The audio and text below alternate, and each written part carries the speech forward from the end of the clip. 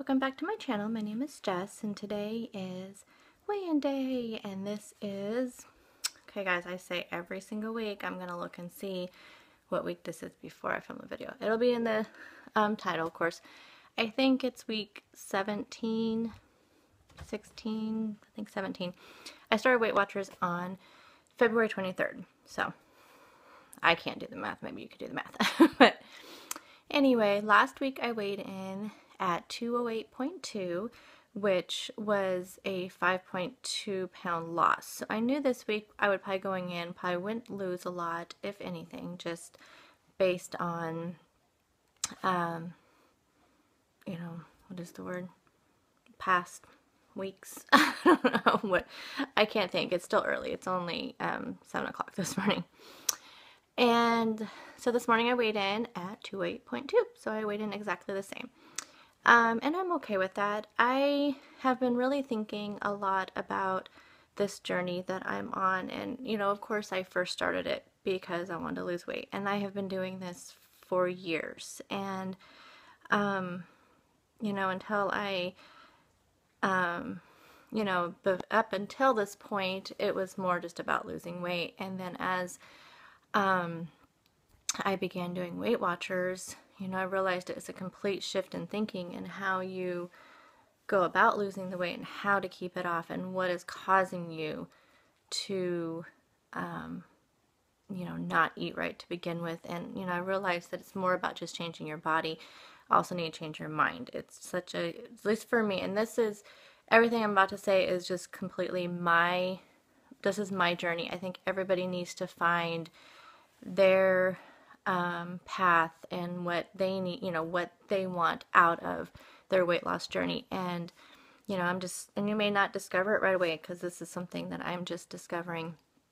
So, you know, for me, in the beginning, I'm thinking, okay, it's just about my body. And now I know it's about my mind and body because when I get stressed or, you know, or sad, you know, or there's just, you know, those challenges in everybody's life on an, you know, unfortunately on an everyday basis for most people and how do you um, apologize for the shakiness too? I i'm not used to just holding up the camera but um anyway so how do you shift your mind from comforting yourself with food and you know or also shifting your mind to like how can what else can i do to you know make yourself feel better and a lot of us, the reason why we're on this journey is because we did turn to food, and that's um, that's me. So, you know, I knew mind and body, but as I was losing weight over this time, and I've lost 26.2 pounds total since February 23rd. So, you know, I, I know I lose weight slow. I always have. It's just one of those things. So I'm not expecting, um, you know, it, it's fine. I mean, my first goal is to reach 199 by the first week of August. That has always been my goal from the very beginning. And I know some people say that was, you know, that's, let's see, March, April, May, June, July. That's five months. That I think five and a half months is what I gave myself to lose, you know, as I started out 234.4. So it would have been almost 35 pounds. And, you know, that's, that you know is so, so for some people might think oh you should lose more than that. For other people oh that's a you know high goal. But i think it for me it was a realistic goal for me. And i may not make it and that's fine. You know we have the ups and downs. And like i said along this way i'm discovering my patterns and my habits. And i just need to um yeah just need to discover myself. And so like I was saying, I knew, you know, my body and my mind. And then I just, as I was losing weight, I just kept feeling I still was not making me happy. I think in my mind, I was thinking, you know, you lose weight, you know, you, um, you'll be happy. You, you know, get out of debt, which we were in debt for a while. And, um, you know, due to me losing my job during the, you know, back in 2011 when the times were really bad, recession and everything. And, you know, we got into debt when it took me so long to find another job. And now that we're out, you know, we're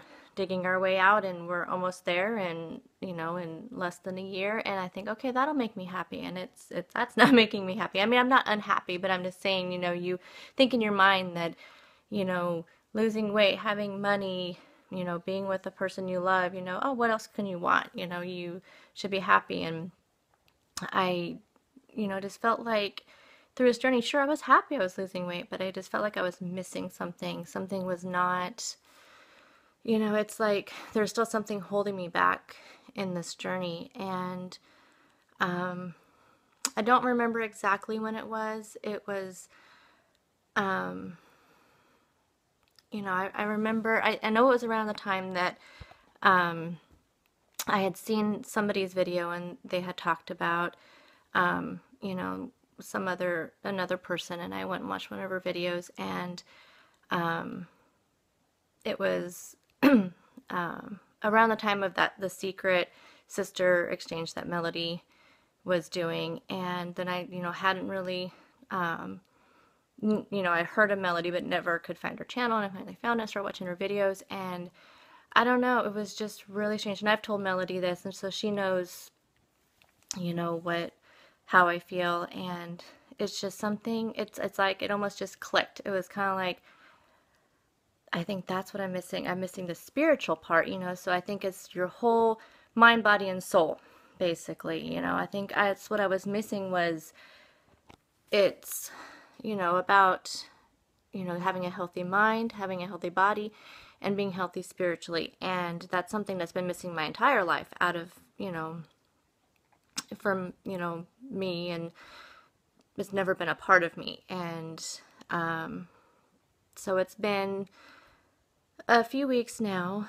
um, ever since whenever that was, and, you know, two, three weeks. And uh, like last week, um, and I'm to order a book that Melody had um, suggested. I just, it's like one of those things where it's like, I need to write it down. so um, I need to write that down. So I'll write that down when I'm done and to remember to go order it. But in the meantime, I um, had, I'm having daily devotionals sent to me, um, to my phone, and I've been reading them, and it's been it's just been amazing because it seems like I feel like it's been every day exactly what I need and what I need to hear and what um and it's just it's giving me some you know joy and peace inside that I think I was missing for a long time. So so that's my journey. You know, I feel like I am, you know, so I'm okay if I don't lose weight one week or even if I gain, you know, if I know I gained, I mean, it is frustrating. I'm not going to say, I'm not going to, you know, not going to act like, oh, I can never, you know, you know, if I gain weight and I know I was perfect all week, it's the most frustrating thing in the world to know that you've done everything right and you still gained. But you know, maybe you just need to, I know then I thought think myself, that comes back to your mind to shift gears. Okay, was I eating the same thing every day? And then that's what I had to do that one week and I did everything right. And I realized, okay, so I had to just listen to my body and my body was saying, you're eating too much of this, you're, you're not drinking enough of this. And, you know, I know some people are not affected by the same things, but obviously my body does not like carbs, even though I love all the carbs, but my body does not like them. My body does not like sodium and I just have to watch certain things. So it's just, it's just about listening to my body. And so, you know, I'm not going to say that I'm not going to be upset if I ever gain, but I'm just saying this is a complete journey of everything. And so I know that if I am trying to fix, not really fix, but just a journey to healthy, that's basically it. Just an entire, you know, head to toe inside and out, you know, healthiness.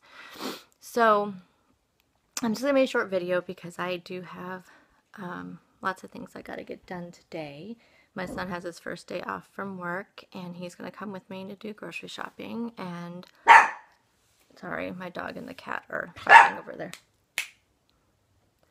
And um, so I just want to tell you one last quick thing and um, then I will go into, um, well actually let me go into my goals first, then I'll end it with the one last thing.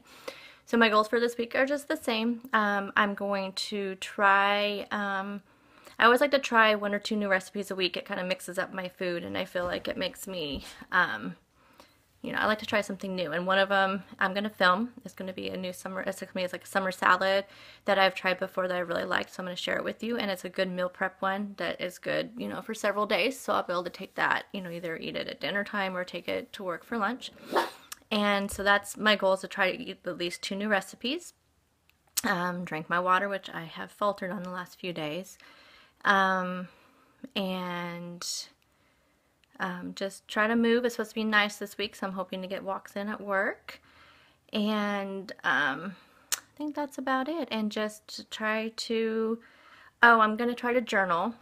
Um, I um, think I kind of have a plan in my head, but I think I'm going to um, use the daily devotional as a kind of jumpstart to my daily journal. So I'm just going to use that and kind of expand on what the devotion means to me and what it's saying to me and i'm just going to write about it. So that is my goal is to at least try to do that three days a week.